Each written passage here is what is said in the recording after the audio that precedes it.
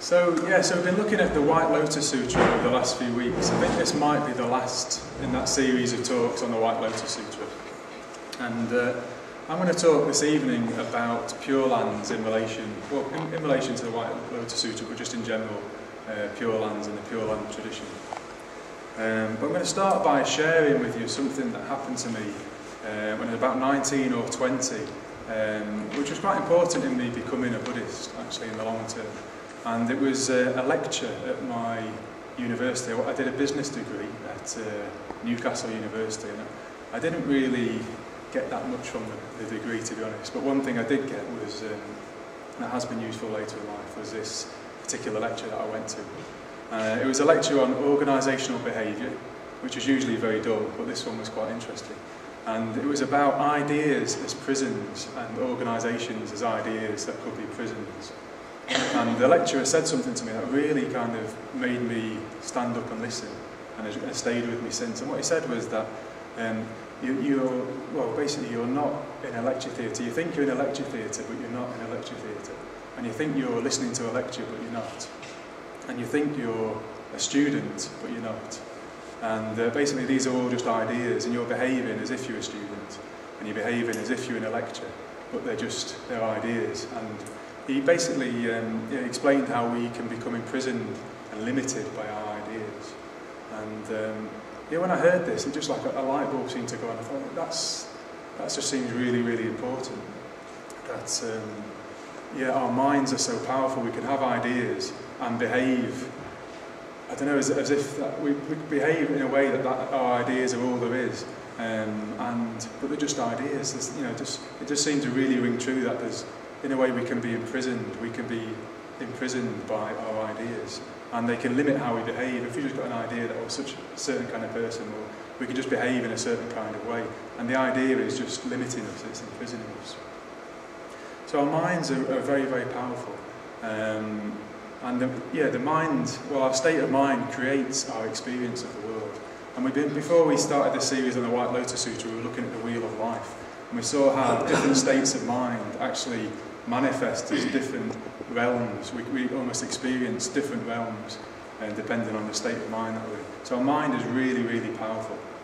And that's the theme that I'm going to revisit during this talk, that our mind creates the world that we experience.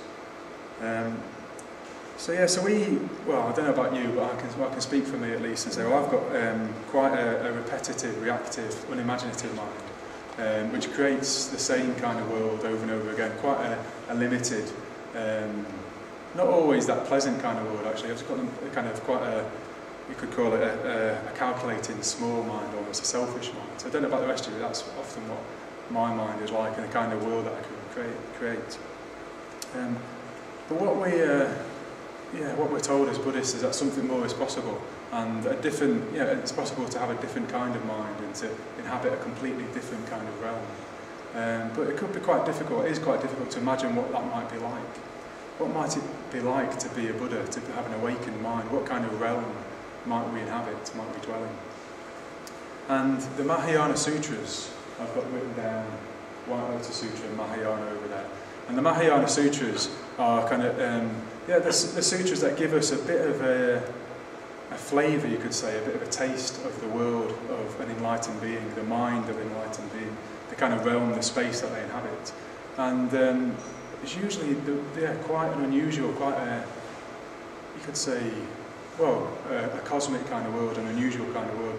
These sutras um, sometimes described as being like science fiction, Buddhist cosmic science fiction, because all kinds of crazy, uh, unusual things happen. So there's a, some examples, uh, we've been studying in the Centre team the Vimalakirti and the Desha Sutra, which is a sutra, which is a Mahayana sutra. And in that sutra there's a, a guy called Vimalakirti, and he's in this house, and all of a sudden the walls of his house just disappear, they completely disappear. And um, yeah, basically loads and loads of Buddhas from infinite numbers of universes and infinite numbers of Bodhisattvas come into his house and uh, occupy his house. So um, it's not the kind of thing you often get in a regular kind of Pali Sutta, quite an unusual thing to happen. Yeah, and um, Paul, there's a guy called Shariputra, one of the Buddha's disciples, and in the sutra he, he becomes really concerned where all these people are going to sit, where all these infinite numbers of Buddhas and Bodhisattvas are going to sit. and it, but it's okay because the Buddha manifests an infinite number of thrones for them all to sit on. Um, but somehow they all manage to occupy this really small space. And for me, that gives a flavour of the mind of an enlightened being, which just has those walls taken down, all those kind of limits removed, and the kind of realm. It gives, yeah, the Mahayana Sutras give us a flavour, um, almost like an experience, if we enter into them imaginatively, of what that kind of mind might be like, what that kind of space might be like. Uh, and so the White Lotus Sutra is also a Mahayana Sutra, and it's also got some quite cosmic episodes, and quite uh, weird and colourful, unusual things happen in the White Lotus Sutra. And, um, and again, also, it, it creates, yeah, it kind of gives us a flavour of what the mind and the, the realm that a Buddha occupies might be like. So we went a couple of years ago, well, the White Lotus Sutra starts off in a real place. It starts off in a place called Vulture's Peak uh, in somewhere in India. We went there, but my geography is not very good, so it's somewhere in India, and we went there a few years ago. It just, um, it's the cursor Yes, I know. I Bottom don't know how right. to stop it. I'm sorry, I've broken your flow That's okay. I'm just going to press the cursor, excuse me.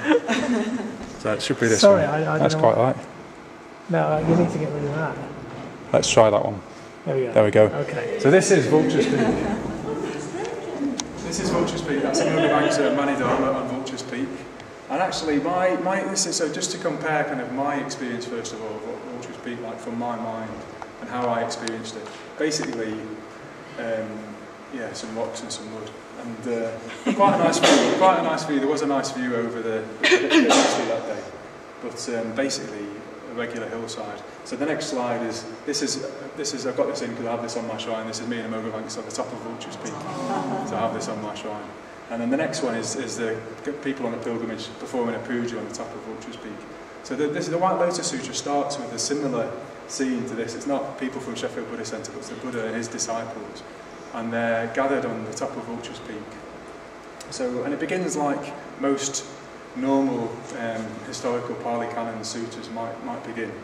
But something unusual happens. Vidanya mentioned some of the things that happened uh, in his talk. And one, something unusual happens um, right at the start of the White Lotus Sutra. Um, a beam of light comes out of the, the centre of the Buddha's head and illuminates an infinite number of world systems. And, uh, and the people seated on Vulture's Peak can see an infinite number of universes and an infinite number of Buddhas. Each universe has got a Buddha teaching the people uh, in that particular universe. And um, I think what happens next is, yes, lots of those, again, like the Vimalakirti Nirdesa, lots of those Buddhas and Bodhisattvas visit uh, Vulture's Peak. I'm pretty sure that, that's what happens. So it gets quite crowded. And we've got a picture. Vulture's Peak is often quite crowded. That's, this is when we went to Vulture's Peak and there were some Burmese monks and the next one as well is there's some uh, Sri Lankan lay people. So it was quite a crowded place, but if you can imagine, well, it's, it's, it's impossible to imagine an infinite number of Buddhas and Bodhisattvas all on Vulture's Peak. Um, so again, yeah, we get a, a picture of the Buddha actually in probably a different dimension to what we're in, a completely different space, a completely different state of mind. Um, to the, the kind of mind that I inhabited and the Vulture's Peak that I saw, it kind of paints a very different kind of picture that Buddha's in a very different space. Um, yeah, so so we get yeah we get a flavour of the Buddha's mind, which is completely unlimited and, and vast, and in a completely different dimension. And an idea which crops up in the uh, White Lotus Sutra and also in other uh, Mahayana sutras is the idea of a pure land, which is what I'm going to talk a lot more about this evening. And um, yeah, the idea is that each of these Buddhas who is um, teaching in each of these universes creates almost like a field from their their mind. Their mind creates a field which is called a Buddha field, or sometimes a pure land, which influences, has an effect on all the people, all the people in that in that field, in that universe. Um, yeah, and those those. Well, yeah, I'm going to talk a bit more. I'm going to talk a bit more about. That's all I'm going to say about pure lands now, just to introduce the idea that the, that's what they are. There's um, yeah, the mind of a Buddha, which is just influencing the people gathered in around that sphere. Um, and I'm going, to, I'm going to revisit that. But I just start, I thought, well, yeah, basically, they wanted to revisit this idea that our minds are very powerful and they create the realm. They create the realm that we, we live in. And um, yeah, there's a very important verse. It's the very first verse of the Dhammapada. The Dhammapada is considered to be one of the earliest texts and you know, closest as we might get to the word of the Buddha. And the very opening verses, which are, you could say, the key verses of, of the Dharma, go like this something like this. Experiences are preceded by mind, led by mind, and produced by mind. And if we speak or act with an impure mind, then suffering will follow, like the cartwheel follows the hoof of the ox. And then the next verse is experiences are preceded by mind, led by mind, and produced by mind. If we speak or act with a pure mind, a skillful mind, then happiness will follow, like a shadow that never departs. So these, for me, the, you could say the whole of the Dharma is contained in these two verses. That our mind uh, precedes, leads, and creates our experience. Our mind creates our whole experience. Uh, so what we do with our mind is very, very important. And the question arises for me: what kind of, what kind of mind, what kind of state would produce um, a kind of blissful, happy realm? Because that's the kind of realm I want to live in. Actually, I want to live in a, uh, in a pleasant, a blissful, a happy realm. So, what kind of state of mind will produce that? And I think there's a big clue in one of the Buddhist lists, and there's a list of mental states called the Brahma Viharas. Uh, and they're sometimes called, translated, the heavenly abodes. So it's said that these, state, these four states of mind, which are metta, compassion, uh, equanimity, and sympathetic joy, these four states of mind, if we, if we occupy, if we have this state of mind, it's like living in heaven right here and now. It's, it's a state of bliss. Um, so these are kind of states of selflessness, altruism, when we're moved out of our kind of cramped, narrow state and we're moved into concern for other people. And that lifts us into uh, actually a, yeah, a, a, a, sphere of, you know, a realm, a realm of happiness. They're called heavenly abodes. Um, so let's have the next, the next image is an image of Amitabha. The Buddha Amitabha is a, an archetypal figure who is associated with the Brahmaviharas with compassion, metta, equanimity. And he's also associated with Pure Lands, which I'm going to talk a lot more about you know, shortly. Um, and you could say there's a, a fifth Brahma Vihara. It's not, I've, I've, made this up, it's not, it's not kind of part of the official list of Brahma Viharas, but the fifth, you could say the fifth Brahma Vihara is a mental state or a, an emotional state called Shraddha, which is again on the, the flip chart over there, as is Amitabha. So Shraddha, um, well, it, in a sense, it hasn't got an English, a direct English translation.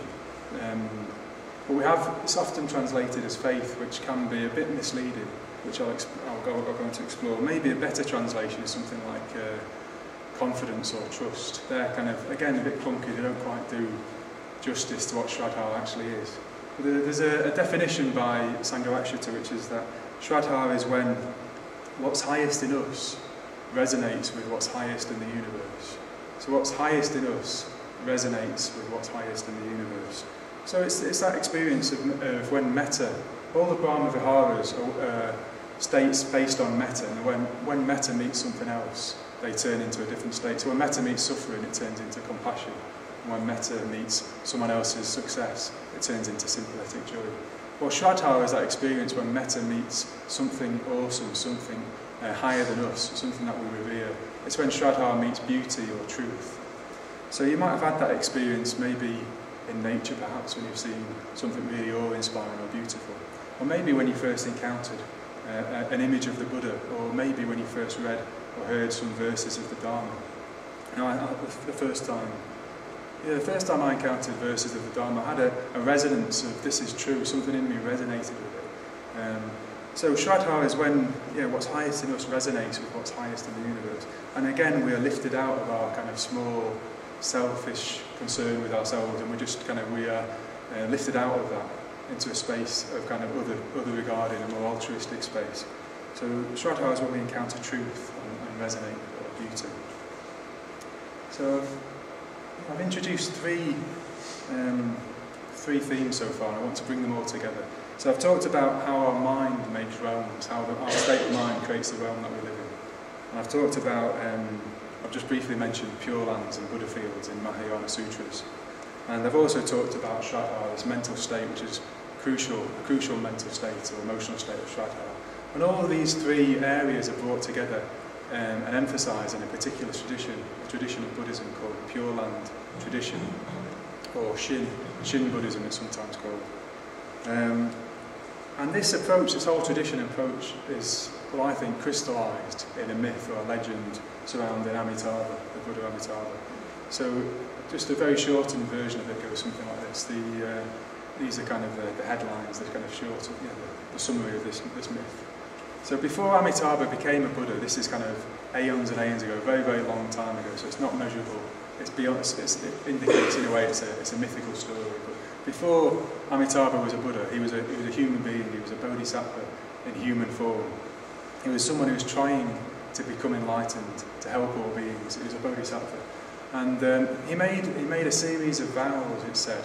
And one vow he made was that if I become a Buddha, I'm going to create a, a Buddha field. That if anybody, um, yeah, if any, all, all somebody will have to do is have complete faith and trust in me, and they'll be reborn into this Buddha field, and they'll be guaranteed to awaken. So yeah, so he made this vow. If anybody, I'm, if I become a Buddha, I'm going to make the best Buddha field. And if anybody just has confidence and faith in me, they'll be reborn into this Buddha field, and they're guaranteed to awaken.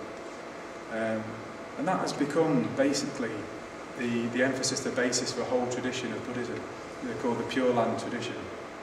And it's based on um, you have faith or trust in Amitabha and you'll be okay. You'll be, you'll be reborn into a pure land. You'll be saved. Um, so, yeah, if you're anything like me, that might set some alarm bells ringing. You might be thinking, well, that sounds a little bit like Christianity. That sounds a little bit like um, God. Um, so a series of questions kind of come up in response to that for me. So I'm going to, I'm going to tell you what they are, and then I'm going to give my answers to them. So the first question that comes up is, well, is this God? I suppose that's the first question. It sounds a bit like God. Second one is, should we take this literally? Should we take this as literally true? Um, in what way? In what way will, be, will we be saved? In what way will, will we be okay? In what way will we be saved? Uh, what kind of faith is this? Is this blind faith? What kind of faith are we asked to have in Amitabha? Um, know, what do we? What, what is it that we can have faith in? And um, what, what is what is it that Amitabha represents? So a whole series of questions though for me basically in, in response to this myth. But the first one is, should we take this literally? And the answer is, well, no. Well, I'm, I'm, I'm quite sure we shouldn't. You know, particularly in our culture, we um, it's not helpful to take that literally. To think that we can um, yeah, I mean, for some, I guess in, in Pure Land traditions and in Asian countries in particular, that people will take this literally, I think. But for me, um, it's, it's a very powerful metaphor for something. And I want to kind of unpack what I think it's a, a metaphor for, what, how, we can, how we can make use of it, how we can approach this in a kind of modern Western culture who might have rejected Christianity. Um, yeah. What can we, how can we make, make say, uh, sense of this? So my kind of the next question that throws up is, well, if we have, so according to the, the Pure Land tradition, if we have uh, faith in Amitabha, we'll be saved. So in what way might we be saved uh, according to the Pure Land tradition? Well, it doesn't, if we have faith in Amitabha, it's not going to it's not going to stop us experiencing pain, and it's not going to stop us uh, from experiencing suffering. It's not going to help us to get a new job. Uh, it's not going to help our team win the FA Cup, unfortunately. Um, yeah, but we are, in, in our, we've got to be careful because in our society we're very powerfully influenced, well, even without meaning to, we're powerfully influenced by Christian thinking. And I certainly am. I, was brought up as a Christian um, before I became a Buddhist. And I've had um, a re, yeah, my, re, my approach to Buddhism has been coloured by, by this kind of Christian thinking. And um, yeah, I had a recent dose of this. The last few weeks, maybe, yeah, maybe the last few weeks have been quite a bit of suffering, quite a bit of dukkha in my life, a bit more than usual. And my response to it has been, well, it's not fair. It's, this isn't fair. Um, basically, I've been practicing Buddhism, and, I'm, and I've been a good Buddhist. And the universe isn't being nice to me. The universe isn't being good to me. And it should be, because I've been nice to the universe. I've been, I've been a good Buddhist. So the universe should be good to me. And unfortunately, what I've um, discovered is that it doesn't work like that. Um, basically, the universe doesn't, um, there isn't, know, Amitabha isn't a kind of figure sitting up somewhere in the clouds being good to me if I'm, if I'm a good boy, if I'm a good Buddhist. It doesn't work like that. So we're not going to be, yeah, we're not going to be saved in that way. We're not going to have what we want happen or avoid what we don't want. Okay, so what kind of what kind of faith um, might we have in Amitabha? What kind of faith might we have? Well, the kind of faith that I was used to in Christianity, and this might not be the same for all Christians, but when I was a Christian, I, was, I felt like I was asked to believe in something that I couldn't prove, I couldn't know to be true. It was a kind of a, what you might call a blind faith. I just had to kind of, what made me a Christian was I believed in certain things that I actually felt I couldn't believe in or didn't, I couldn't test if they were true. But what um, Sangharakshita describes Shraddha, which is what we translate as faith, what, what we, what we Sangharakshita defines Shraddha as is, it's, um, it's based on intuition, it's based on our intuition, intuition uh, our kind of gut response, but it's grounded in reason, it's grounded by reason and it's tested in our experience. So as Buddhists, we're not, and the Buddha was very clear about this, we're not asked to believe something that we can't test in our experience or we can't prove to be true. Um, we're not asked to believe in something we can't, we can't test out, we can't prove. So it's not, this isn't a, a blind faith. So again, this is something that differentiates, for me, Pure Land uh, Buddhism from Christianity. Um, yeah, so what, what can we have faith in? If it's, um, what are, in a sense, what, how, how can we make sense of this? What, if we can have faith in Amitabha and we're going to be saved, what, what is it we're having faith in? Um, so for me, an immediate thing that I think, my immediate response to this is if basically we, we need to trust, uh, well, we need to trust the law of karma actually. We need to trust the law of karma and the Buddhist practices. We need to have confidence in them Because it comes back to what I was saying about our mind. Our mind is very, very powerful. What we do with our mind has real consequences. What we think, what we speak, how we act has very, very real consequences because what, how we do, basically how we think and speak and act shapes our mind, it shapes our states of mind. Um, and the Buddha came up with a, an image of a, a potter, um, you know, just a, a potter, clay going around and being shaped by a potter.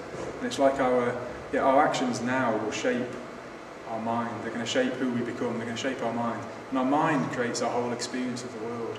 So our mind is very, very powerful. And um, yeah, well, the law of karma says, well, basically how we act will shape our mind. If we act skillfully, um, our mind, our mind will, will expand, will become more and more positive, and we will, will experience happiness. If we, if we act unskillfully, well, our mind will contract, will experience suffering. So we need to take, yeah, basically our mind is very powerful. It creates our world. And yeah, as my lecturer said in my business degree, our, our mind can create a prison. Our state of mind can create a prison, and that can create a lot of suffering. So we need to take this very, very ser seriously. And basically what we need to do is have complete confidence and trust in that, in the law of karma, that our, we can change our mind, we can shape our mind. How we act will change us, it will change our mind. Um, yeah, and basically if we don't, if we don't, if we don't trust the practices, they're not going to work. That's basically the whole it. If we, if we approach meditation half-heartedly, if we do the metta bhavana, I think, well, you know, I've done the metta bhavana loads of time, it doesn't really work. It doesn't, the same thing happens over and over again, I can't really do it. But if you approach the metta bhavana with that attitude, it isn't going to work. It's, you know, the same thing will happen again. Um, we, need to, we need to approach meditation practices and all Buddhist practices with confidence. We need to approach them wholeheartedly. Um, yeah, because if we approach them half-heartedly, we, we won't get, we won't get the, they won't work in effect. The, the practices don't work if we, or the, the, the degree, the extent to which they do work depends on our commitment to them, how wholeheartedly we can commit to them. Uh, and you might have experienced, I mean, some of you are quite new to meditation, some of you have been meditation, meditating for quite a lot longer. You might have experienced something called beginner's mind, where when you first start meditating and you're quite fresh and you haven't really got any expectations, you can have some quite um, concentrated, focused meditations, maybe some quite cosmic meditations. But you know, after a few years, when you've got quite a lot of expectations and maybe you know, expectations about how the meditation is going to work, it stops having the same kind of effects. So, yeah, basically, what I think we need to have, the first thing we need to have faith and trust and confidence in is the practices that we're given, which is uh, the practice of ethics, in particular the practice of ethics, that our actions have consequences, practices of meditation. Um, we need to have real trust and confidence in them, otherwise they're not going to work fully. We, if we, you know, we, need to really believe them. I was on retreat with a friend uh, well, a few weeks ago, maybe two or three weeks ago, and we were talking about this on a walk, and he was saying he's got complete confidence that if he doesn't put petrol in his car, it's not going to start, basically, it's not going to go anywhere. He's got complete confidence in that. But um, he can't, he finds himself not able to have complete confidence in the law of karma and in meditation practice and ethics. He just doesn't, anyway, he, he kind of, he just doesn't act as if it's true. He doesn't act as if his actions have consequences or if his meditation is going to really change his mind. In the future, if we really believe that wholeheartedly, we'd act quite differently to how we believe. And I thought that was quite um, um, perceptive of him, quite honest in way. That, well, we've got no trouble accepting that we need to put petrol in our car for it to work. But you know, I, I for one have trouble convincing myself I need to get out of bed to meditate or I need to be ethical, and that is going to really affect my state of mind, going to have consequences. So yeah, it's basically this whole aspect of, of Buddhist practice is crucial, and you could call this uh, self-power. Well, I'm going to call this self-power, which is where we are working on our own mind and we're changing our mind. We are, you know, we're, we're, we are our own, um, our own, you could say our own agent. We are responsible for actions, we're taking responsibility for actions, we're committing to the law of karma, committing to meditation practices, and we're transforming our own state of mind. So you could call this, uh, I'm going to call it self-power, that we are, we are in control of our destiny, we're making it happen, we're changing our mind. But this is, this is a, a, a huge part of Buddhist practice, and I'll say more about this later. Um, and you could say, well, in fact, this is probably a big part of a lot of our approach to practice in the West. That it's, it's you know, I'm, I can do this, I can release myself from suffering, I can liberate myself, and I can do these practices, and I can transform my mind. But um, the question that arises, another question that arises for me, well, how much control do we actually have? How much are we in control of what happens to us? How much can we really control the world around us? Well, certainly we can control our states of mind, we can have influence over them, we can control the conditions we put ourselves in. But if you take our body, our physical body, um, how much control have we got over it? The cells that make up our body, we're not in control of them. We, they, they just get on with their own stuff. Actually, I'm going to have to confess, I've borrowed this bit from the talk by Vedanya. I listened to the talk by Vedanya on the Pure Land and borrowed this bit. And another bits I've borrowed from Matt Nagula as well. But this bit's borrowed from Vedanya. So how, mu how much are we in control of our bodies? You know, if you look at it, if we really break it down, our cells just do their own stuff. Our organs get on with it. We don't have to, luckily, we are not in control of it. We don't have to tell our kidney to do whatever. I don't even know what my kidney does. so I don't, you know, luckily, I don't have to tell it to do whatever it does. It just does it. Uh, I've got a rough idea what my heart does, and I luckily, I don't have to don't have to remember to tell my heart to beat. I don't have to remember to tell, you know, to breathe. I just breathe. Just my body just gets on and does it. So really, you know, this kind of sense, this illusion, well, I'm I'm in control and I'm making it all happen, is an illusion actually. Just it's just doing it itself, and my body is just getting on and doing it. Luckily. Um, and then also physically, we are part of much bigger systems. We rely and we depend on yeah, much, much bigger systems within society. You know, for our food, I'm completely reliant. Basically, everything I got, everything I own, everything I've learned, I've got from other people. I'm completely, if I really honestly look at it, I'm completely dependent on everybody else in the world around me for everything that I've learned, everything I own, yeah, everything I eat. my house. I didn't build. I don't know how to build a house. My every, everything I own and everything I enjoy, I'm, I'm you know I rely on other people for. I'm completely dependent on other people. And psychologically and spiritually, well, we're also conditioned by the world around us. We we learn our ideas, our ways of thinking from our parents, our families, from uh, the culture, of the world around us, our friends, what we read in the media. Basically, we're, we're conditioned psychologically and spiritually as well as physically. We, we're, we're, we're not, we don't e-, exist independently. So whilst our individual practice is crucial and self-power is crucial, and we'll talk more about this in a while, it is crucial. It's not the end of the story and it could be a bit harmful in a way, it could be a bit self-inflating to think, I'm going to do this all myself, I'm going to see through this fixed illusion of self all by myself, I'm going to see through my sense of self by myself. In a way, it's a bit of a paradox and it could become a bit of an illusion, a bit, a bit of a, a bit of kind of self-inflation, it could become dangerous. Um, there's a quote from a new book by Sangharakshita called Living, well, quite a new book called Living Wisely. And I've not read it, but I've, I've been given a photocopy of some pages and it looks really good, so I'm going to read it. Um, and Sangharakshita says when he's talking about our sense of ego or experience of ego, what he says is that um, it may be better to change the way we see ego rather than dismissing it, to be less as a thing and more as a way of functioning or a way of being. So he says expressions like trying to transcend the ego can create a lot of confusion. Um, he says you're functioning as an ego when you're closed in on yourself, when you shut yourself off from other people. But when you're more outward going and you're expansive on the other hand, when you're engaging with the concerns of others, well then you're functioning from non-ego. So um, to the extent that you think of others with genuine concern, you're non-egoistic. So um, I really like that quote because it basically, rather than trying to be trying to, you know, this um, yeah, ego is something, a sense of self, something that I'm trying to somehow get out or some, a thing that I'm trying to see through. Sangharakshita says, well, actually, it's a way of functioning, it's a way of being. When we're selfish, when we're being selfish and concerned about ourselves, we're shut off from other people, then um, we're behaving in an ego way, in a kind of selfish way. And um, yeah, so what this, in a way, what this brings out to me, this whole kind of sense of me being dependent on other people, and um, yeah, selfishness and ego being a kind of selfish way of being. What it brings out for me is that well, the, the, the real the real importance of collective practice. That collective practice is hugely important. That um, I'm dependent on other people. I'm dependent on other people for my spiritual practice, and actually that's the way that I'm going to I'm going to gain wisdom or insight into the way things are is by operating in a less selfish way, in a more altruistic way. So collective practice, um, things like this where we're coming together in Sangha, building Sangha, is crucial. And you could, yeah, you could call this, I'm going to call this other power with a small o. Other power with a small o is when we're reliant on other people. And um, we're not kind of thinking, we've got a sense of, i can do it all on my own, I'm going to do it all on my own. Um, so we need to have, another thing we need to have trust and faith in, we need to have Shraddha and trust and faith in, is actually other people and the Sangha. we need to be uh, receptive to other people and open up to them. And this involves, yeah, it involves a practice of friendship. Um, and so, yeah, I had the picture of me and a motorbanks up on Vulture's Peak before.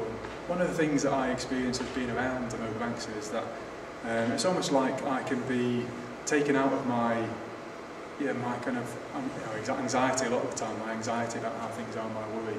And just I enter, I spend some time with Amoghavamsa and I enter into his space almost, into the realm that he occupies.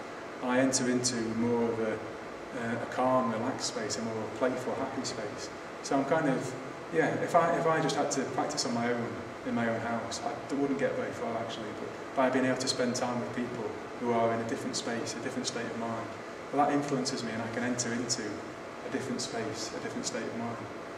So it's particularly useful having friends like Amoghavamsa to spend time with. Um, so yeah, so we need to be receptive to the people, open up to them, spend time with them, develop friendships with them. Um, but then, as Sangharakshita was saying, well, altruistic activity, being um, unselfish is crucial. It's a crucial way of loosening our ego, loosening, um, yeah, ending our own suffering. Acting altruistically is a crucial part of this.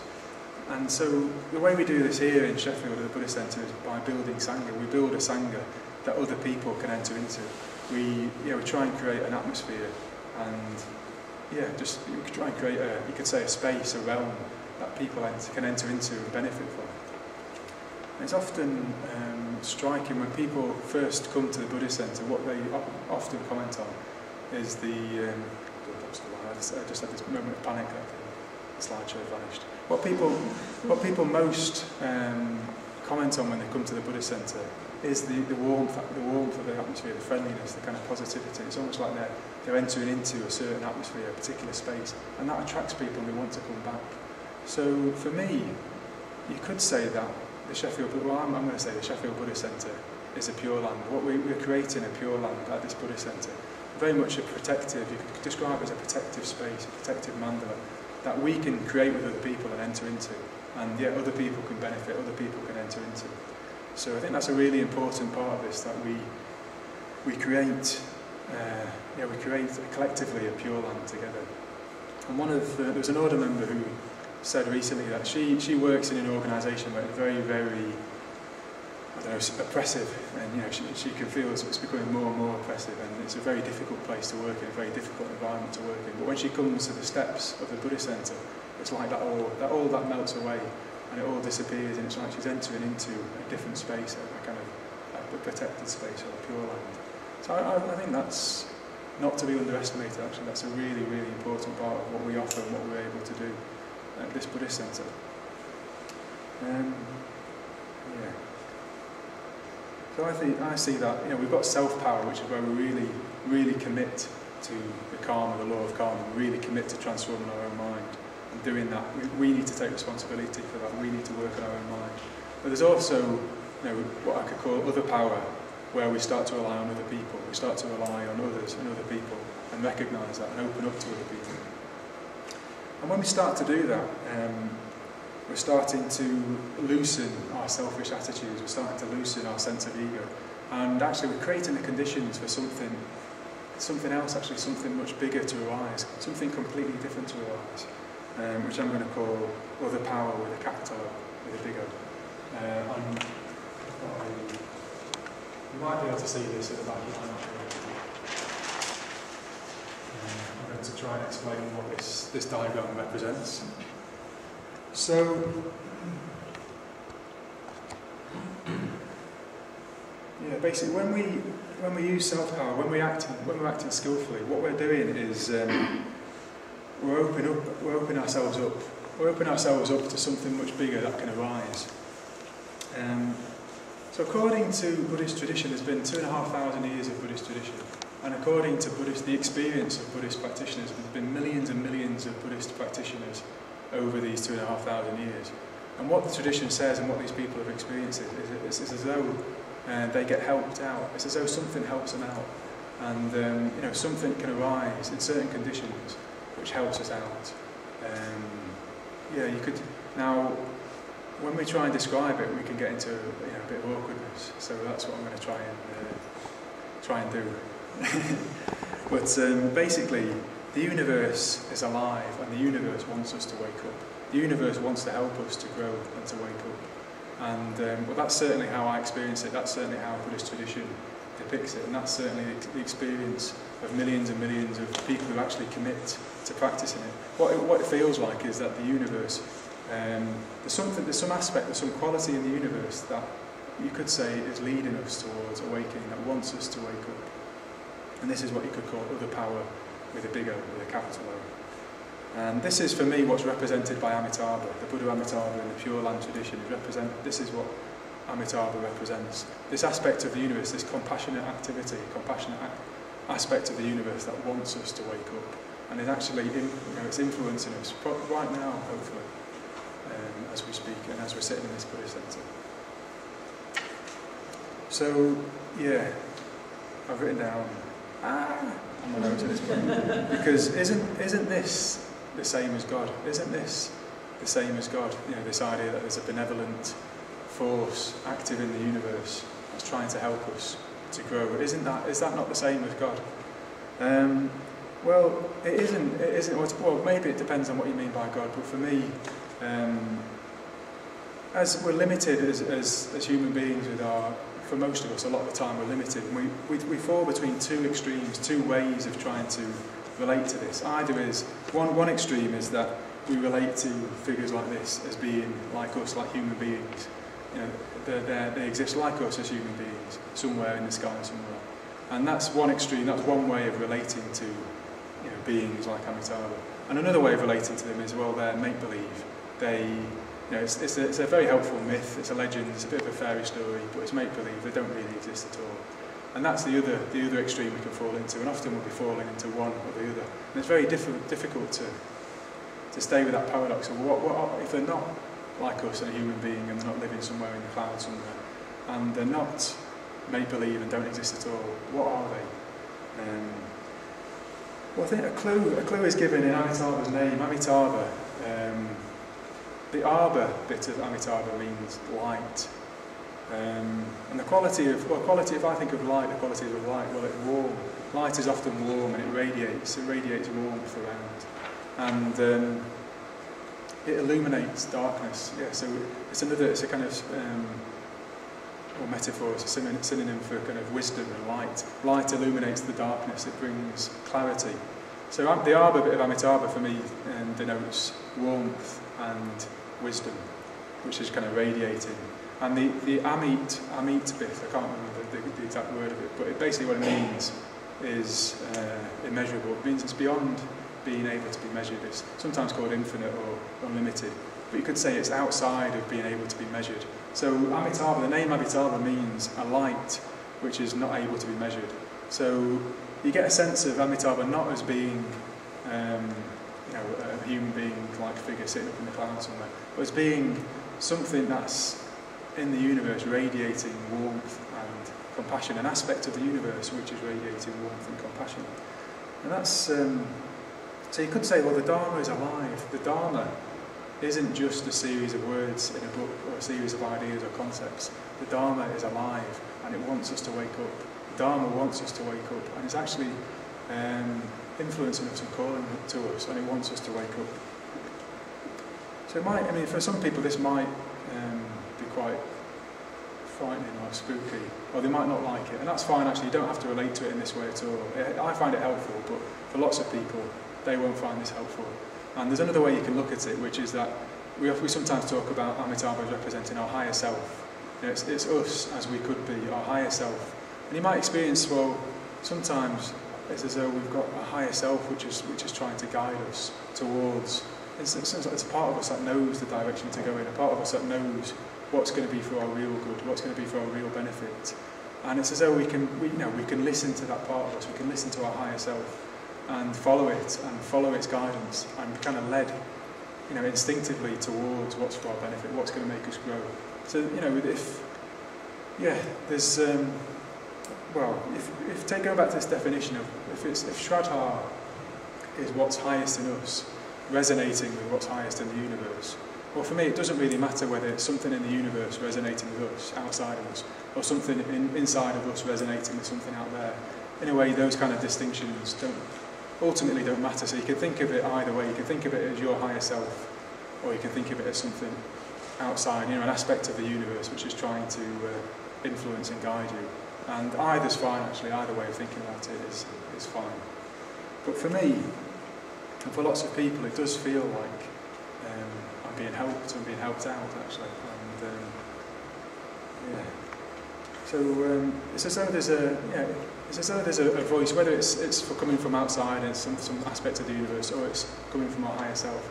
It's as though there's like a voice that speaks to us, it's calling to us, and it speaks very, very quietly, very, very faintly, and it's often drowned out by all the noise of the busyness of the day-to-day stuff, what we've got to do, our shopping list, our work, you know, the things we want to get, the holidays we want to go on.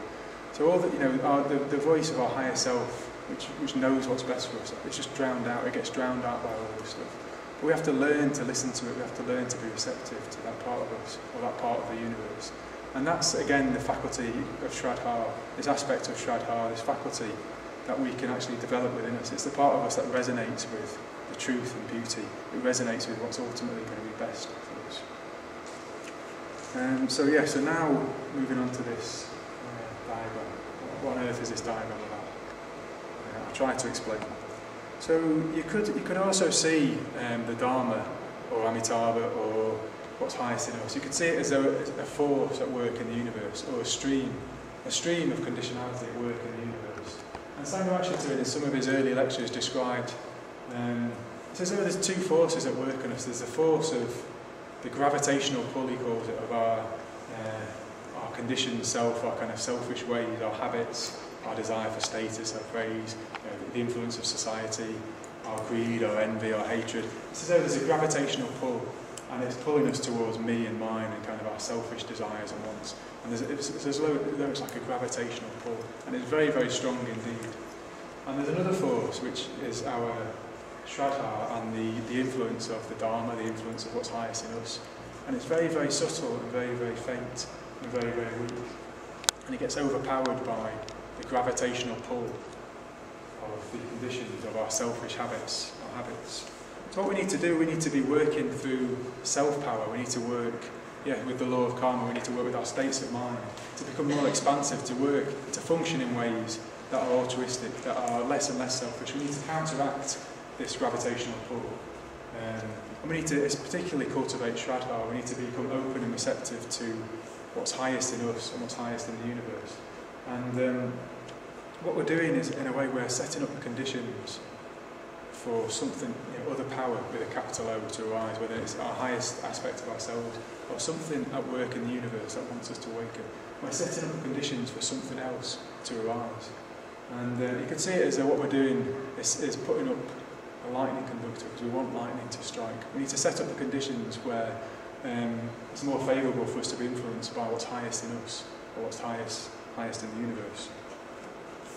Um, yeah, there's another quote from this Living Wisely which is very helpful in trying to illustrate this.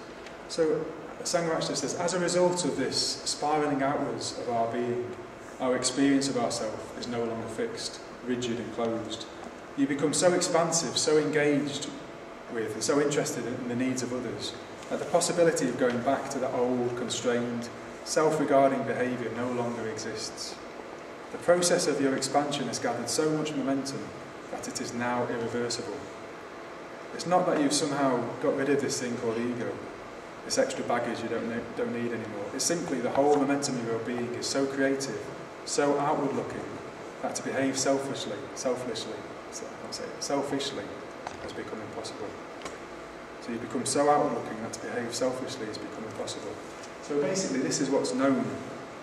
Um, there's various things actually in different traditions. There's a, there's a crucial point in our spiritual We're working to work against this gravitational pull of the condition of our selfishness, and something actually very different arises. Something very different can happen. Um, so in some traditions, it's called stream entry. In some traditions, it's called the rising of the bodhicitta. And in the Pure Land tradition, it's, it's called being reborn into a pure land. And um, basically, I, I think these are just all describing the same experience, a very crucial, very important experience on the Buddhist path, which is when, you know, the, the what we could call other power with a big O becomes the most influential aspect in our lives. It's no longer me trying to uh, yeah, trying to get enlightened, but actually I've just become, I'm just started to cooperate, I've just started to become part of something much bigger. So in some traditions it's emphasised by seeing, you know, by insight and seeing through the state of self. So I've, I've drawn an eye at the top and said that equals wisdom and insight. In Mahayana traditions, um, this state is known more as the rising of the heart that wants to awaken for all beings, the bodhicitta, it's associated with compassion. So this state it can be emphasised in a kind of heart way as, as compassion and bodhicitta, or in a wisdom way as insight. But if you were just you know going back to the fact that well our states of mind can also be manifested as realms, well, how might you manifest? How might you describe this state as a realm? Well, I think you describe it as being born into Amitabha's Pure Land, actually, where you're guaranteed to awaken. Because from this from this actual point on the path, you're, you're irreversible, you're guaranteed to awaken. So if you're going to describe it as, as being born into a place, you describe it as being born into Amitabha's Pure Land. So, um, yeah, that's how I make sense of um, the myth of Amitabha, basically. What is, you know, what is Amitabha? Well, Amitabha is a force that I experience actually and other people experience helping me act you know, I, this is how I like to interpret some, you know, uh, some, a force in the universe helping me but you can experience you can interpret that in different ways if you want to um, yeah and being reborn into Amitabha's Pure Land is actually that state of mind when we're no longer concerned about our, our own welfare and state of being anymore. We, we want to awaken for all beings. and then we're reborn in Amitabha's Pure Land. So that's a bit about the myth. And I just want to talk about well, how actually might this be useful in practice? How do I approach this? Because I actually, I, my practice, I took on ordination as the Amitabha uh, visualization practice. And I've quite, you know, basically since I heard about Pure Land Buddhism, maybe when Ratnaguna and Vedanya talked about it five or six years ago, something like that, maybe a bit less than that, I, have been really interested in this approach to, to Buddhism, this Pure Land approach. Um, so I just want to talk about why I find it useful and how, you know, how I approach it. So when Ratnaguna came to Sheffield, and, he, and he's, he's, a, an, he's an order, I'm actually going to be giving a day at the Sheffield Buddhist Centre on reflection in a few weekends, so come to that day because it'll be brilliant. But Ratnaguna gave a talk about the Pure Land, and he said, well, for his, his experience, and a lot of people, he's been practicing for kind of 20 or 30 years, and he said a lot of people have been practicing for a long time, they have an experience that goes a bit like this. So, for example, if you imagine enlightenment, that wall over there, and you're going, you're travelling towards enlightenment, that wall over there, and you kind of reflect and you look back on how far you've got and how much progress you've made in those 20 or 30 years, and you've basically gone about this far. you know, if, if that you've made about that much progress in those 20 or 30 years. And when you start to do the maths and think, well, actually, I need some help, and I'm not going to be able to do. I can't do this. I can't. And as you practice more and more, you uncover more and more habits, more and more of this these forces that are, you know, compelling, pushing you in this gravitational pull. We you uncover more and more selfishness, more and more greed, more and more hatred, and you think, man, how am I ever going to break through all of this? How am I going to get past this kind of gravit- what feels like a gravitational pull? How am I ever going to do this? And you know, actually, it feels like you need help. You need help from something bigger, something outside of you. And, um, well, yeah, basically when you've committed to practice wholeheartedly for 30 years or longer, and then you realise you need help, well, um, that's the condition for actually something to, to start to help you. And it's sometimes said it's like if we reach up, something else reaches down to us. And we can reach up, and something in the universe might reach down to us. And that's kind of been the experience of a lot of practitioners. Um, and I think I've not been following track of time, so I might have been talking for too long, but I've got a few, a few short things to just to, to round up. And one of them is a story of Avalokiteshvara, which I think really helps to illustrate how self-power and other power both work, how we need both. So, uh, so Avalokiteshvara, there's the myth, another myth, um, another uh, archetypal figure called Avalokiteshvara, and he's also associated with compassion. And also in, in, in this myth, Avalokiteshvara starts off as a a human being, a kind of um, budding bodhisattva. He, he really wants to change his mind, he really wants to work on himself, and he really wants to eradicate suffering. Not just for himself, but for all beings, he's kind of, kind of started to move towards expanding you know, his, his selfishness. He, he wants to he wants to be altruistic. He wants to transform his mind for all beings to benefit. And so he really fully commits, as I was talking about earlier, he, Avalokiteshvara commits wholeheartedly, completely, and so much so he makes a vow, an unbreakable vow. He says, I'm, I'm going to, uh, basically, I'm going to release all beings from suffering. That's actually quite a, an ambitious vow. he, he commits to it wholeheartedly. He commits really fully to this, and you know, so he really commits to self-power. And for a number of years, the myth says Avalokiteshvara goes off into a cave and he meditates to try and eradicate suffering in the world. And he's, he's really committed to it wholeheartedly. But after a few years, he comes out of his cave and he realises, again, a bit like Ratnaguna, he's, he's gone you know, this far. He's, he's, just, he's, he's just made a slight, you know, a real slight dent in a big ocean of suffering. and he, he actually despairs and he goes back at his vow and he, he, he realises he can't do this, I can't do this. This is too big a task. It's, it's a paradox, I've committed to doing it and I can't do it, it's too big, I can't do this. And in that moment, according to the myth, Avalokiteshvara shatters. Um, and that, you know, there's a lot of symbolism in that which I've not got time to go into, but he shatters, his, you could say his whole, his whole sense of who he was shatters into lots and lots of tiny pieces. Who Avalokiteshvara was isn't the same anymore. And Avalokiteshvara somehow in tiny, loads of tiny pieces cries out for help. And he cries out to help to Amitabha, the Buddha of compassion. And it's said that Amitabha um, reaches down to help Avalokiteshvara. And he puts Avalokiteshvara back together um, like Humpty Dumpty, you could say.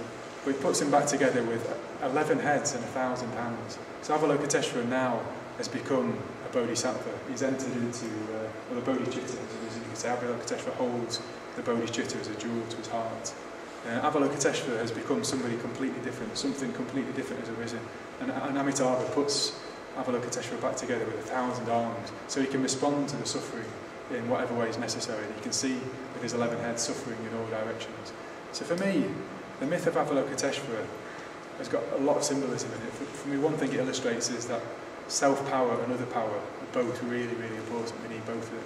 We need to really, really commit to the practices wholeheartedly. We need to really um, commit to transforming our mind, transform, you know, working on ethics, um, working on our selfishness by becoming more altruistic, um, building in Sangha. We need to really you know, we need to we need self we need self power, but we also can't do it on our own. We need something outside of ourselves to um, if we're going to transform. And I think it's also illustrated by the two parables we heard Daniel talk about, the parable of the return journey and the hidden jewel, uh, the jewel that's sewn into the robe. So the, I'm not going to go over the stories again, but you can listen to those talks if you weren't here on the, on the website. But Daniel told the story of the lost son, the return journey. So a son um, basically gets um, well, basically, he, he inherits he inherits huge amounts of wealth from a rich king who turns out to be his father. And the son didn't know this. And the son basically has to do loads and loads of work. He has to really work hard to get to a position where he's able to inherit all this money. So yes, basically that represents us having to loads and loads of effort, loads and loads of self-power. We need to really work on ourselves and transform ourselves. But at the same time, the son is guided by the father all the time. It's the father who's helping the son along, even though he doesn't realise that's what's happening. And the son doesn't realise he's going to you know, arrive with all this inheritance. He's being led and guided by the father, which represents other power. And the same with the parable of the jewel that's sewn into the robe. Again, you can listen to that in Bedania's talk if you want to. Um, but the guy who basically ends up becoming really rich again by having a jewel that he discovers in his robe that's been in there all along. Well, he basically is dependent on the person who puts it there. His friend, his rich friend, sews the robe into his jewel. His rich friend points it out to him and reminds him. So in both these stories, you've got um, you you've got the self and you've got other, you've got self power and other power. So what, what I want to really emphasise is that breakthrough, spiritual breakthrough, or the big spiritual breakthrough that we're kind of often looking at and emphasising different traditions, maybe as being wisdom or insight, or the rising of the bodhicitta, or being reborn into pure light. It comes, that kind of breakthrough comes through lots and lots of effort, wholehearted commit, commitment to karma, actually, to working with our own states of mind, our own ethics. Um, that, that's where it comes from that, but also from um, receptivity to something outside of ourselves, whether it's um, yeah, whether we see it as our higher self or an aspect of the universe that wants us to wake up. Um, how are we in for time? What time are saying? It's just coming up half past eight. Okay, so I'll round up, um, round up shortly. So basically, my, my approach to this is I really like pure alcoholism. I mean, um, as soon as I heard about it, I really liked it, and basically, I'm quite confident. I, I mean, I, um, yeah, from various things that happened to me in the past, I'm quite confident that if I trust the universe, it will help me. And um, I'm just really convinced by this. I'm really confident that if I trust the universe, it will help me. Um, it won't help me to get a new job. It won't help Liverpool to win the FA Cup or the Premier League. But if I trust the universe, it, I, it'll help me to actually get what I really need to grow and to develop spiritually. I don't know how it works. I don't know what happens. Um, but that seems to be what happens.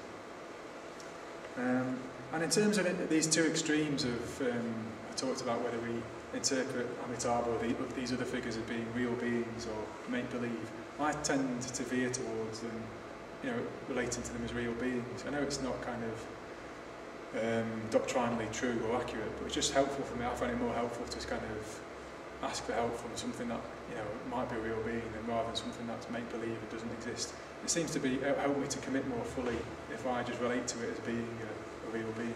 And doctrinally that's not accurate, it's not correct, but I just find that I find that's what tends to happen for me. Um, but what happens, yeah, basically if I, you know, I've got a connection with Amitabha, I meditate on Amitabha, I chant the Amitabha mantra.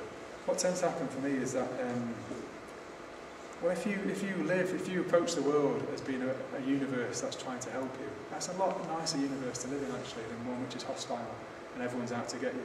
If you live in a world which is actually benevolent and alive, magical, and trying to help you, that's yeah. It's, it's, it leads to a lot less anxiety. Um, you know, I can just I can relax a lot more and just um, just be much more at ease with myself when I'm when I'm in you know connection with that that way of thinking.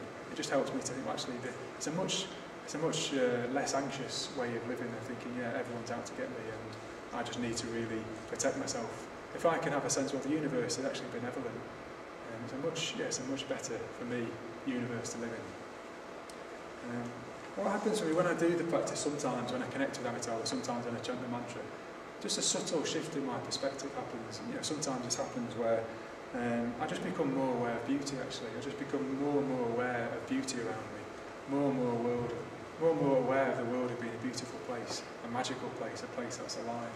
Um, yeah, sometimes it's just a very subtle shift that happens from doing the meditation, but it's um, yeah, begin to start to, to inhabit more and more of a a magical, beautiful world where the, yeah, the universe might be trying to help me to wake up. So that's what seems to happen by me chant, you know, chanting the mantra of Amitabha, connecting with Amitabha. So for me, the Pure Land isn't a place that we go to. It's not a kind of physical place somewhere like a heaven that we go to. That's not how I. That's that's for me. That's not what the Pure Land is. It's a state of mind. The Pure Land's a state of mind. It's a possibility that exists every single moment.